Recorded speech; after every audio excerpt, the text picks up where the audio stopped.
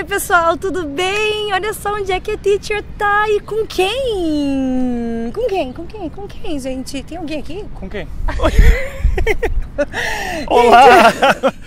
Oi! É o Mr. Teacher Paulo! Ai, não acredito! Yay! Ai, tô tão feliz, gente. Eu tô aqui no Central Park, em New York. E aí, Paulo, tá feliz? Muito feliz. Eu também tô super feliz, gente. E hoje eu vou falar sobre um assunto que me pediram, sabia? Me pediram. Me pediram pra falar sobre isso. Sabe o que, que é? Não. O que será? Uma coisa que eu percebi, quando eu cheguei aqui, me perguntaram se os americanos são educados. Uhum. E são ou não são? Muito educado. São. Eu percebi que são super educados. A maioria, pelo menos, Sim. né? É muito educado, fala muito sorry, excuse, Excuse me. me. please, thank you, have a nice day. Seguram sempre a porta.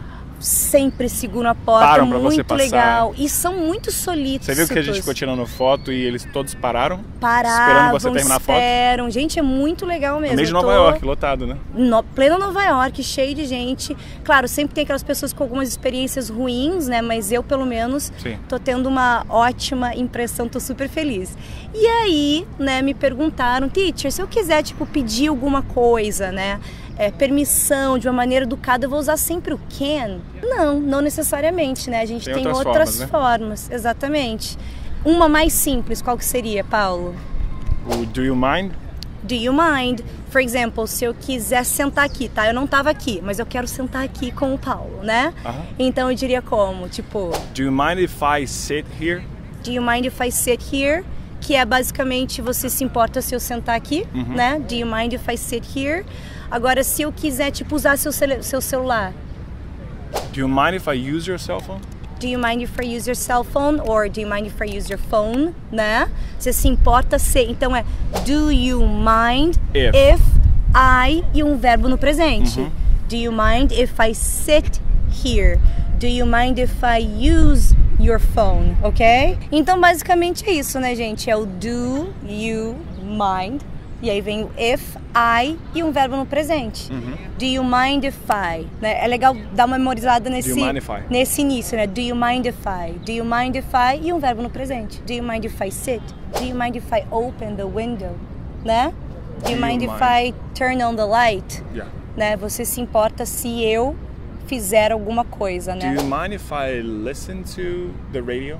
Do you mind if I listen to the radio? Você se importa se eu escutar o rádio, Uhum. né?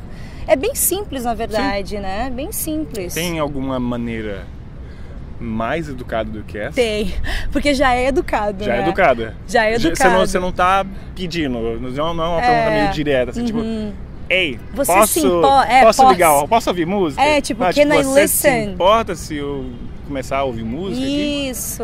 Tem aham. algo mais polite do que isso? Tem, tem. Qual seria? Que é usando would. Ao invés do do, você usa would. Então, por exemplo, né? Tipo, pra sentar aqui, se eu quero sentar aqui, então eu vou dizer Would you mind if I sat here? Opa, É. aí tem algo diferente, teacher. Tem. O que é essa diferença? E é, minha gente, Será é? que é o tempo verbal? Exatamente. Então o verbo, ao invés de ficar do you mind if I sit, vai ser would you mind if I sat. Daí a gente vai mudar would, você vai ter que usar o past simple, simple past. o past simple or simple past. Você vai ter que usar o, o verbo no passado simples. Então é would you mind if I sat here? Por exemplo, se eu falo, vamos praticar um Você se pouquinho agora. importaria se eu se- me Se sentasse? eu, se, me sen- se eu sentasse se eu aqui. sentasse aqui, né? Vamos fazer uma coisinha? Eu Ah. vou falar com o do e aí você passa pro would, Ok, ok? ok. Só umas duas frases assim, Tá. ok? Tá. ah, digamos que eu fale Do you mind if I use your phone? Would you mind if I used your phone? Used. Your Used phone. Your phone, ok. Would you mind if I used your phone? Great. Ah, outra. Do you mind if I open the window? Do you mind if I open the window? Would you mind if I opened the window? Opened. Opened the window. Mais rápido. Would you mind if I opened the window? É, aí você usa. Vai juntar. Open Junta, né? Porque não tem como você pronunciar o som do som D, do D e do TH. TH, né? Que é Então, vozeado. Aí você anula o som Anula. do D e fica Would you mind if I opened the window? Open the window, yes, exactly. Mas o verbo, por mais que você pense assim, ah, não eu tá lá, não tô ouvindo no tá lá. passado, tá, entendeu? Eles estão juntando tudo, É né? Isso o, acontece. o som consonantal vai anular o outro, apesar de não ser a mesma coisa, tá parecido, um acaba Isso. aba- abatendo o outro. Agora tem mais uma coisinha, gente. Mais um detalhezinho, né? Porque isso eu tô pedindo permissão, se eu posso fazer alguma coisa. Sim. Agora vamos colocar uma situação, tá, Paulo? Digamos Aham. que a gente tá sentado aqui e tem uma janela aqui do teu lado. Ah, Tá pertinho de você, tá? Você pode abrir pra mim? Aí eu tô dizendo assim, ah, você se importa em abrir a janela? Ah, não, é pra você mim? se impo- É, você se importa, né? É, A gente vai usar o do agora? Do you Vamos mind? usar o do. Então, por exemplo, se eu quero que você faça pra mim, não sou eu que vou fazer. Antes era eu que tava fazendo, Aham, né? Tipo, do you mind if I use your phone? Agora eu quero que você abra a janela pra mim. E não tem mais o se. Não tem mais o se, como é que ficaria? Do you mind opening the window? Exactly. Aham. Do you mind opening the, the window? Do you mind opening the window, Paulo? Do you mind do you mind sitting there? Because I'm I'm filming right now. Você se importa em sentar ali porque eu tô isso, filmando agora? isso, entendeu? Então, tipo, na verdade, você tá falando, você se importa, né? É, porque Você, queridinha, você, você tá lá. atrapalhando aqui o meu. Eita, não é meu canal. É o meu. I'm sorry, então eu Ah, acho que é. eu. OK. Aham. Yes, please. Não, volta. Então, por exemplo, se você, se eu quisesse pedir pra você fazer alguma coisa pra mim, no caso ele tá perto da janela, é assim, gente, eu vou usar o do you mind e aí o verbo vai vir com ing. Não tem esse if nem I. É do you mind e direto o verbo com ing. Verbing. Verbing, né? Yes, o verb verb. ing. Yes, verbing. verb ing. Então é do you mind opening? Aí eu tô perguntando, pedindo pra ele fazer alguma coisa pra mim, se ele se importa em fazer alguma coisa por mim. E tem uma maneira mais educada ainda de pedir, que é com o Would. would. Então é a mesma coisa, Would. gente. Mesma coisa, gente. Would. Ao invés Would de falar Do you mind opening the window? Seria Would, you mind, opening, the, window? Agora já não tem Ok. passado, também não, não ING. tem. Também ING. Não tem. Aí agora já não tem diferença. A única Sim. diferença, é, ao invés de do you mind, Vai ser é would you mind. Would you mind? Exactly. Tu acha que Muito ficou legal. claro isso? Eu acho que ficou muito É. Uhum. claro. Você acha que ficou claro? Se você acha, tem que fazer o quê? Deixar aqui nos comentários, né? Tem que deixar nos comentários se você entendeu. Se você tiver alguma dúvida, você pode deixar nos comentários também. Mas se você Posso entendeu. responder também nos comentários? Ajudar também, se eles tiverem alguma Claro, dúvida? né, Paulo? Deve, né, gente? Pô, toda ajuda é Nós muito dois bem-vinda. vamos responder os comentários. Agora, só um detalhezinho, posso falar sobre a resposta? Sim, como é que é? É basicamente como em português. Se eu falo assim, ó, do you mind? Do you mind if I open the window? Pergunta pra mim. Você se importa em inglês? É. Não, vamos perguntar em alemão. Ai, alemão. É Schumacher. Do you mind se eu, pra eu abrir ou pra você abrir? Pra você abrir. Do you mind if I open the window? Não, not at all. O Ah. que, que eu falei? Não, de maneira alguma. Não, de maneira alguma. Eu tô querendo dizer o quê? Claro, pode abrir, Sim. entendeu?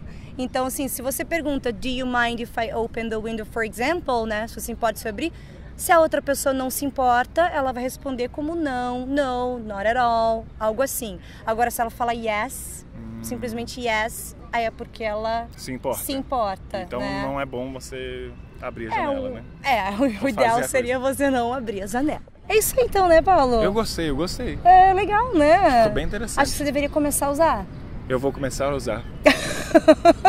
Do you mind if I end your video? Please do that. Ok. So, guys, o meu canal. Fala um pouquinho do seu canal, Paulo. Bem, o meu canal, pra você que não conhece, eu ensino o foco é, ultimamente assim, tem sido Uhum. mais na pronúncia, porque a pronúncia é na minha opinião, é mais importante até do que a própria gramática. Levantei Uhum. já uma, uma, uma treta aí, né? Ai, meu na Deus. minha opinião do Paulo. Na minha opini- opinião minha, pai minha do Paulo. Não posso falar isso aqui. A minha opinião é que a pronúncia é mais importante que a gramática. Se você falar com erros de gramática, igual um Tarzan, e com a pronúncia boa, o americano te entende, o nativo te entende. verdade. Não daqui, porque em Nova York eles entendem imigrantes. ah, entendem, verdade. Agora, sei lá, você vai pro Minnesota. Se você errar a gramática, ele vai te entender pela pronúncia, mas se você errar a pronúncia, ele não É, vai te fica muito entender. Ou você pode falar diferente. palavrão, você pode Isso. passar muita vergonha. Uma mensagem então, errada. o foco hoje do canal é mais a pronúncia, mas é óbvio que tem várias aulas de E é gramática. ótimo o canal dele, gente. Se inscrevam lá se vocês ainda não Muito estão obrigado, inscritos. muito obrigado. É verdade, é maravilhoso. Além dele ter toda a experiência de viver aqui, né, cara, nos Estados Unidos. Agora, né? há pouco tempo, mas o meu inglês eu aprendi todo no Brasil e até uma motivação para você, que nem a Teacher Ellie, nós aprendemos inglês no, no Brasil, Brasil yes. sem nunca ter saído, Uhum. só depois que a gente veio pra cá. Mas hoje eu, eu compartilho também a experiência, né, de morar Com aqui, certeza. que eu acho que isso também é válido para o seu aprendizado, que não somente o idioma, você tem que entender a cultura por trás do idioma. É verdade. Nossa, É isso. isso. é muito importante. Se você importante. gostar, se você gostou dessa minha participação, passa no meu canal e se inscreva. Com certeza. Deixa seu Obrigada. like nesse vídeo. Obrigada. Eu que agradeço. Nossa, Oh cabeçada. my gosh. Pá! Muito obrigado. Aí morre, acabou o canal. Acabou. Carla aparece. Ok, gente. Gente, a Teacher Ellie acabou o canal dela, né? Forever. Tipo, o cabeção do Paulo aqui Ah, obrigado, destruiu. obrigado. Já, não- já não tenho problemas emocionais com isso. Ai, não! Bom, gente, é isso aí. Espero que vocês tenham gostado. Eu tô super feliz de ter esse convidado que é muito mais do que especial, né? Além de ser um ótimo teacher, é um grande amigo também, um profissional que eu respeito muito, pode colocar o muito, coraçãozinho muito aqui? mesmo. Oh. Oh. Que fofos. Então, se você gostou desse vídeo, dá o seu like, né? Compartilhe com seus amigos e comecem a praticar também. Se vocês quiserem colocar frases usando, né, esse, esse do you mind ou would you mind, coloquem aqui que se estiver certinho eu vou dar um, uma curtidinha, eu vou comentar alguma coisa, ok? Um beijo grande em todos vocês and see, See you you. next class. Bye, bye.